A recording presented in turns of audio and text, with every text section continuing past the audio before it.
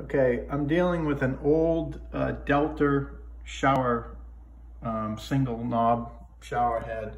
Um, I already removed the, the knob and the cover plate. Um, but what happens with these things is this thing, there's, it comes out of here, it just screws in.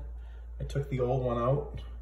You can see I, you just unscrew it and pull it out, but it's a little, um, what they call it. I got this on Amazon. It's a uh,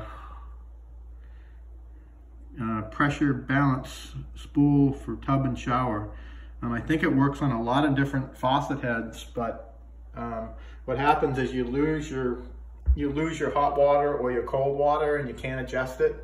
Um, so you need to get a new one of these. This is the third one I put in this one because if you let it sit for, I, I let it sit for six months or so, and every time I do that, it, it doesn't work anymore. So I could probably get something new, but that's not what I'm gonna do. Um, I just thought this video would help because I had I couldn't find one to help me fix it. So um, thanks.